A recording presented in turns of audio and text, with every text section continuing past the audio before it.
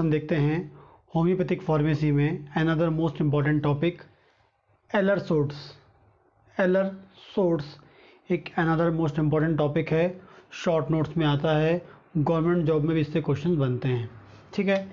तो एलर सोर्ट्स क्या है? एलर सोर्ट्स जो हैं एग्जैक्टली क्या है? Homeopathic attenuations of antigen homeopathic attenuations of antigen attenuation मतलब होता है वीक एटेन्यूशन मतलब होता है वीक तो जो एलर सूट्स हैं, वो एग्जैक्टली क्या है? Are homeopathic attenuations of antigen antigen के होम्योपैथिक एटेन्यूशंस हैं, ये हम एग्जैक्टली से समझ सकते हैं। जो एंटीजन है, उसकी जो डिज़ीज़ प्रोड्यूस करने की जो पावर होती है उसे वीक करके। डिज़ीज़ एग्जैक्टली जो एटेन्यूशन का एग्जैक्टली मीनिंग क्या होता है? कि मेडिकल साइंस में इसका एग्जैक्टली मीनिंग वो होता है कि एंटीजन जो है, उसका जो डिज़ीज़ प्रोड्यूस करने की जो पावर है, उसे कम कर देना या डिस्ट्रॉय कर देना और डिस्ट्रॉय करने के बाद उस एंटीजन को लाइक मेडिसिन लाइक यूज़ करना। ठीक है? उससे हम क्या बोल रहे हैं? वो जो फॉर्म है, वो क्या है? एटीन्यूशन है। ठीक है ना? एटीन्यूशन मतलब हो गया है वीक मतलब वो एंटीजन कैसा हो गया? वीक हो गया है। क्यों वीक हो गया है? क्योंकि वो डिज़ीज़ प्रोड्यूस नहीं कर सकता है। लेकिन लेकिन डिज़ीज़ जो डिज़ीज़ है, उससे फाइट करने के लिए बॉडी में जाकर एंटीबॉडीज़ फॉर्म कर सकता है। क्या कर सकता है? एंटीबॉडीज़ फॉर्म कर सकता है। लाइक जैसे वैक्सीन होती हैं लाइक वैसा फ़ंक्शन कर सकता है। क्या है?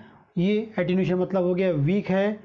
एंटीजन वो जो है, वो वीक है। और जो बॉडी के अंदर जाकर डिज़ीज़ प्रोड्यूस नहीं करता, लेकिन हमारी बॉडी में एंटीबॉडीज़ प्रोड्यूस करेगा उस डिज़ीज़ के अगेंस्ट या उस एलर्जन के अगेंस्ट जब बॉडी में रियल एंटीजन जाएगा या एलर्जन जाएगा तो हमारी बॉडी क्या करेगी? उससे फाइट कर लेगी, क्योंकि हमारी बॉडी में ऑलरेडी उससे बनी बुनाई क्या होती है?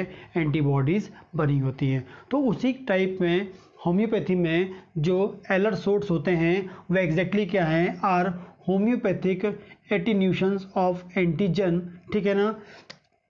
एग्जैक्टली क्या है? Homeopathic attenuations of antigen that is substance enable sorry under suitable condition under suitable condition can stimulate formation of antibodies जो मैं आपको बताया मैंने।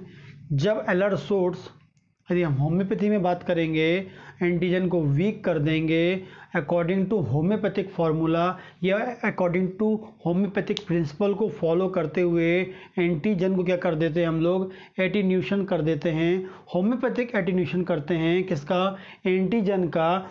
तो उसे हम क्या बोलते हैं? एलर्ट सोर्स बोलते हैं। और जब ये एलर्ट सोर्स जो होते हैं बॉडी में जाते हैं अंडर सुटेबल कंडीशन में can stimulate formation of antibodies formation of antibodies के लिए रिस्पॉन्सिबल होते हैं। ठीक है ना? आगे देखते हैं कौन कौन से एंटीजन इसमें ले सकते हैं हम लोग। टॉक्सिन्स कोई भी टॉक्सिन्स हो गया। फर्मेंट्स ठीक है? इसके अलावा प्रेसिपिटी नोजेंस जो है, वो यूज़ कर सकते हैं।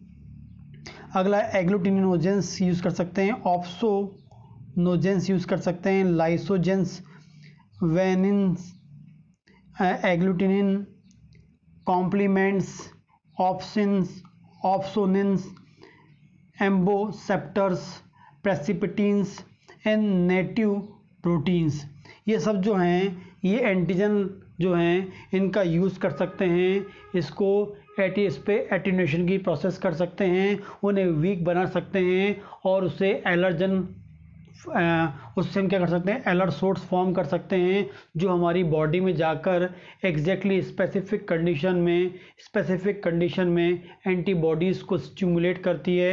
एंटीबॉडीज़ के फॉर्मेशन के लिए क्या होती है? रिस्पॉन्सिबल होती है। ठीक है ना? आगे देखेंगे टेक्निकली जो है एलर सोर्स जो है subset of isopathic medicine subset of isopathic medicine exactly वो है टेक्निकली आगे बात करेंगे they are prepared from routine allergens present in environment and food chain जो रूटीन में प्रेजेंट होते हैं एलर्जेंस उन एलर्जेंस का यूज़ करके या उन एलर्जेंस को यूज़ करके क्या करते हैं? हम लोग क्या कर रहे हैं? एलर्सोट्स फॉर्म कर रहे हैं। और ये जो एलर्जेंस होते हैं, जो इन्वायरमेंट में प्रेजेंट होते हैं फ़ूड चेन में प्रेजेंट होते हैं, जो प्रॉब्लम प्रोड्यूस करते हैं एवरी पर्सन में डिफरेंट टाइप के पर्सन में, ये क्या कर सकते हैं? प्रोड्यूस कर सकते हैं प्रॉब्लम प्रोड्यूस कर सकते हैं। उनका यूज़ किया जाता है एलर्सोट्स को बनाने के लिए। आगे बात करेंगे prepared according to homeopathic specification जो होम्योपैथिक का प्रिंसिपल है, उस अकॉर्डिंग उस होम्योपैथिक प्रिंसिपल को फॉलो करते हुए हम लोग क्या करते हैं? एलरसोट्स को फॉर्म करते हैं। आगे बात करेंगे administration of this type of remedy इस डिज़ाइन जो एलरसोट्स होते हैं, उसको कैसे आपको प्रिस्क्राइब करना है और किस डोज में देना है? Exactly to reduce exactly exactly जो एलर्ट सोड है, बनाया क्यों गया है? To reduce sensitivity of person या सेंसिटिविटी ऑफ़ पीपल्स जितने जो पर्सन हैं, उनमें जो स्पेसिफिक सेंसिटिविटीज़ होती है स्पेसिफिक एलर्जेंस के लिए specific sensitivity to specific type of allergen जो होती है उसके लिए पर्सन में, उसकी उस सेंसिटिविटी को कम करने के लिए क्या किया गया है? एलर्सोट्स को बनाया गया है अकॉर्डिंग टू होम्योपैथिक प्रिंसिपल आगे बात करेंगे, ठीक है? एलर्सोट्स में not be dispense in attenuation below six X and three C H मतलब आपको सिक्स एक्स से नीचे की पोटेंसी सिक्स एक्स से ज़्यादा potency six seven eight nine more than six six X से कम वाला पोटेंसी नहीं देना है सिक्स एक्स से ज़्यादा वाला पोटेंसी देना है। मतलब सिक्स से कम में फाइव एक्स कभी नहीं देना है। हमें देना है सिक्स या सिक्स से अधिक। वैसी बात करेंगे थ्री सी से अधिक three C four C five C ये दे सकते हैं। लेकिन थ्री से कम मतलब टू सी वन सी हमें नहीं देना है। एलरसोट्स को जब भी प्रिस्क्राइब करना है तो आपको सिक्स एक्स के ऊपर की पोटेंसी या थ्री सी के ऊपर की पोटेंसी देना है। ये क्यों बनाया गया? एग्जैक्टली इसका ऑब्जेक्टिव होता है sensitivity to reduce the sensitivity to person to particular allergen एक स्पेसिफिक एलर्जन के लिए किसी पर्सन में सेंसिटिविटी होती है, उस सेंसिटिविटी को रिड्यूस करने के लिए एलरसोट्स का फॉर्मेशन किया गया या बनाया गया है अकॉर्डिंग टू होम्योपैथिक प्रिंसिपल का यूज़ करके। तो ये शॉर्ट नोट्स में आ सकता है एग्ज़ाम में मोस्ट टाइम पे क्वेश्चन ही बनता है, ठीक है?